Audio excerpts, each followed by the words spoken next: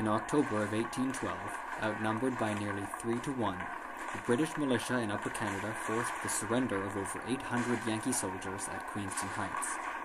Sir Isaac Brock was killed leading the charge, but his readiness for battle preceding the war, and his command of the troops as Major General, have assured his heroic place in Canada's history.